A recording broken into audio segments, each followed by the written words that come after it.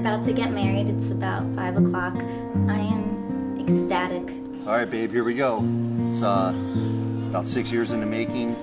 Um, I just can't wait to be Mrs. Berardis and be your wife. A lot of emotions going through me right now. Can't wait to see you walk down that aisle. Can't wait to see how beautiful you look. I'm already hearing how beautiful you look. It's you and me forever. I love you. But most importantly, I can't wait to walk away from that ceremony with you as my wife. I love you more than anything in the world. I can't wait to spend the rest of my life with you. I'll see you in a little bit.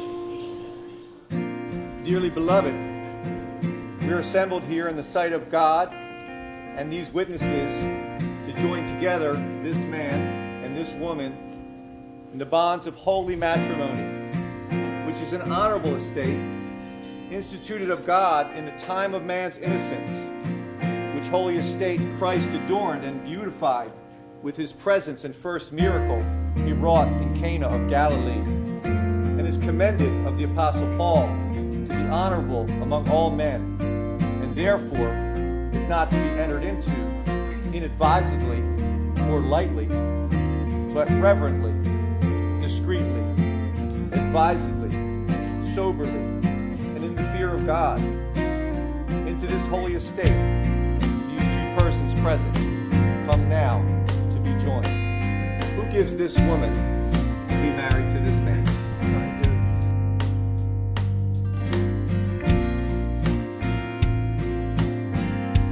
Ken, you may kiss your bride.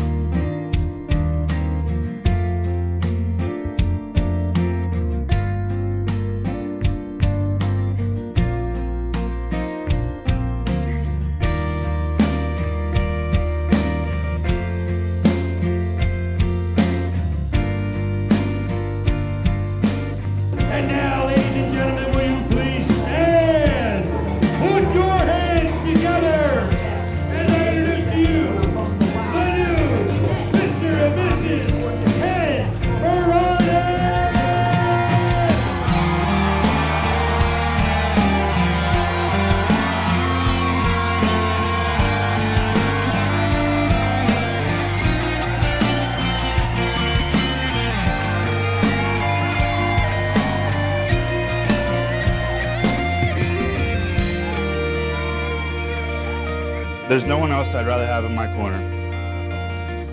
I just want to let you know, in front of everyone here, that I'm proud of everything you have accomplished and how honored I am to be your brother. Stephanie would light up any time that Ken's name would cross her lips. Steph, from the moment Ken introduced me, I saw the glow in his eyes and I knew you were sticking around. And not only at the mention of Ken's name, but at the mention of Derek and Joey's. Stephanie had fallen for Mr. B and his voice. I wish you nothing but happiness, love, and success for the rest of your years. So you join me in a toast To the happily ever Berardises. to the bride and the groom.